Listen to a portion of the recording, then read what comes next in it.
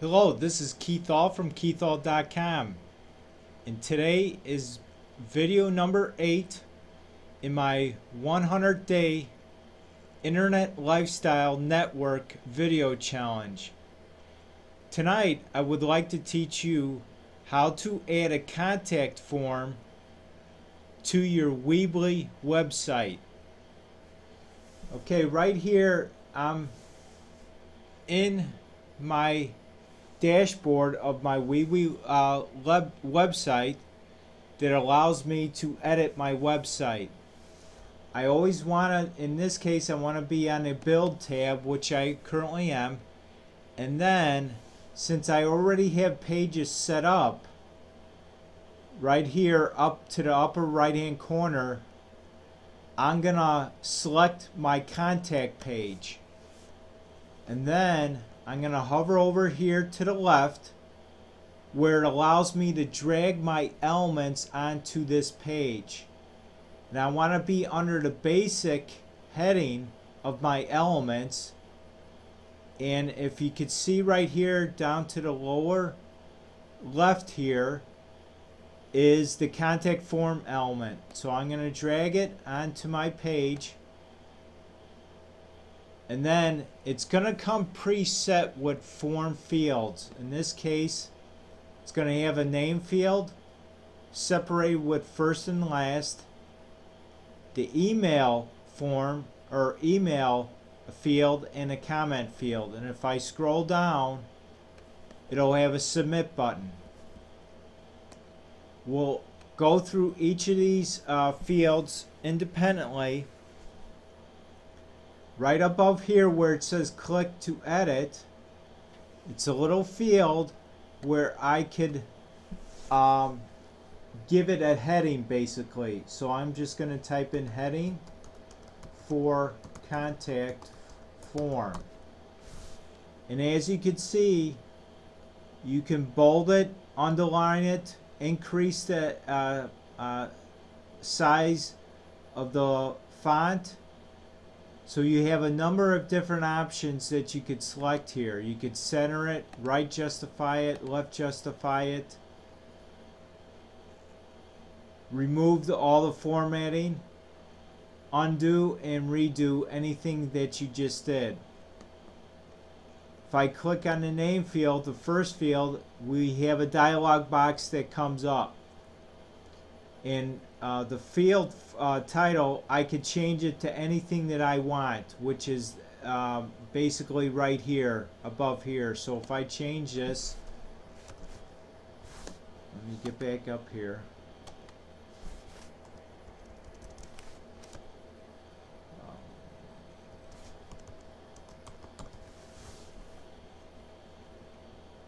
So if I click out of there, as you can see, it changed this name here.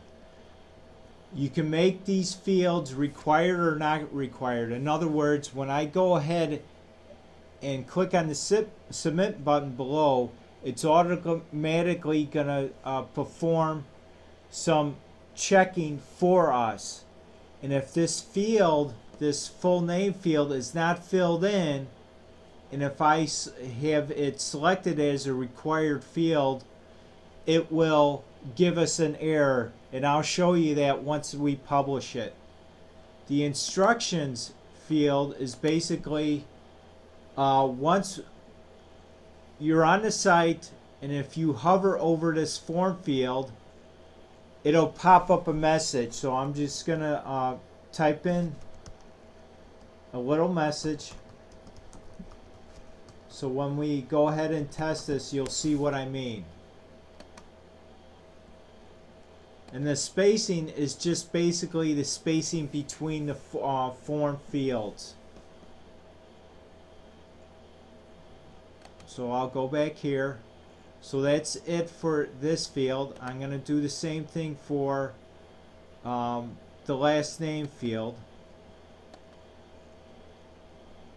Let me come back up here.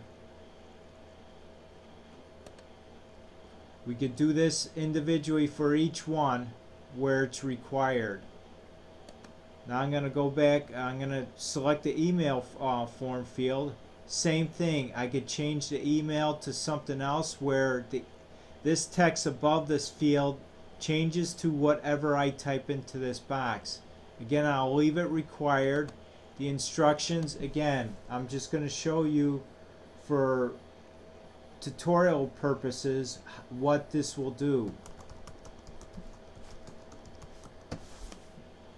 Let's click this arrow to go back. The spacing, again, is going to be the spacing above and below this field.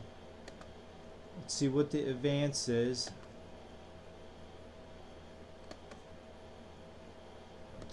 Let's, just uh, select something here. Okay. Now the comment field, same thing. I'm going to have it required instructions.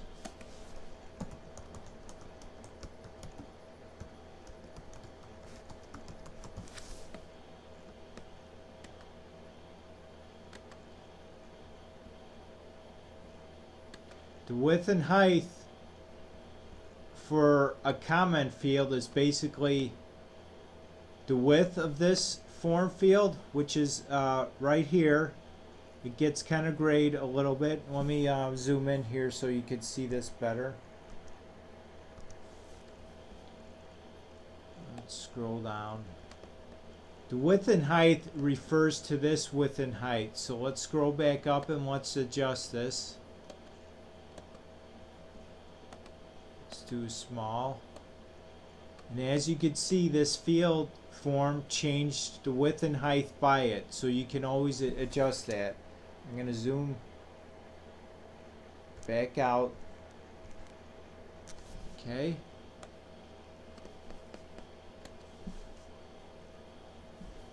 Spacing, the same thing. You can allow the spacing above and below the field between all these fields so you, you can adjust that. Okay, change it. Now let's go to the form options so we can see what is available for us. Again, contact form title. So whenever we go on to the, um, uh, if we have multiple forms that we want to add to our site, we can name them here so we can differentiate between all of them. Now when we click on the submit button right here to the lower left, you want to submit this message to a specific email address. So that's what you would type in there. Confirmation means now when you click the submit, it either can go to a text form. Basically, you could type in your text right here, and I'm going to leave it at that. And then we're, I'm going to publish it, and we'll test this out, and you'll see what I mean. Or you can link it if you have this set. This field right here means that once they click the submit button, it'll be redirected to whatever site that we select in here. If I select the standard page, right here is going to is going to list all the pages on your site that you have and you could redirect it to an individual page on your site and that's what this uh, standard page is. If you select a store page this means that if your site is set up to have um, an order form where they buy products online. This is what this is for to uh, in this case. So I'm gonna uh, X out of that. I'm gonna come back up here, click save. You want to save the form now. I want to publish it. Now I'm going to click this link here so we could view this uh, particular site, click on the contact page link, and as you can see, we have a form here. Now, as I hover over each one of the fields, remember how we set this up. that um, when you, we hover over it, it's going to give the user instructions. Only when you hover over the field. Once you, once you hover over the field, that message will pop up. Once you leave that field, it will leave. So if I click submit without filling in these form fields, you'll see what happens. As you can see, each field that is that was required that we set up, uh, it will highlight it in red, bold the field, so we have an indication that something is wrong. And also, there's a message down below. It says, please correct the highlighted fields. So if I type in anything. And this, this must be a valid email address, meaning that you got to contact it in the correct format, which is the, the field before the at sign and a domain name afterwards. So I'm going to just type in a test that I know I have set up.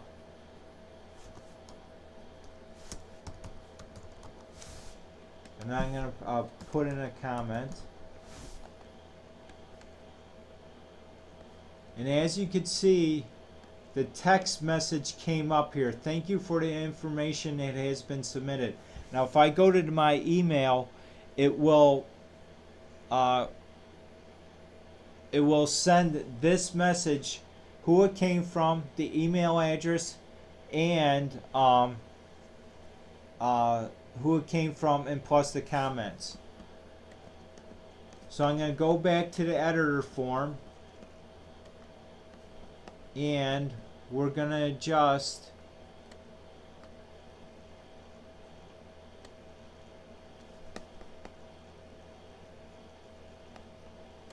we're going to edit this form. So instead of sending a message, a text message, we're gonna uh, do a link.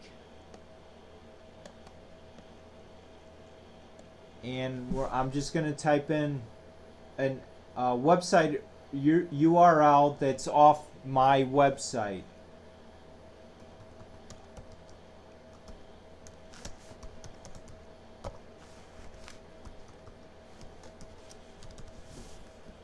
click on save. And we're all done here. And then I'm going to come over here to the right and click save. And then I'm going to click on the publish.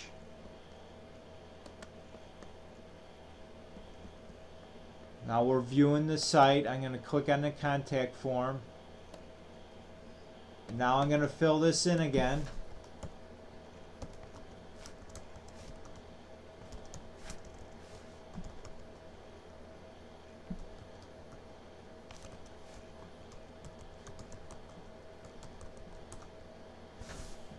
Click on submit. Now it redirected to the URL that we put into that form.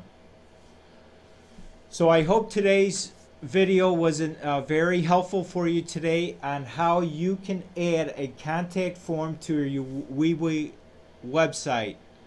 Thank you for stopping by today.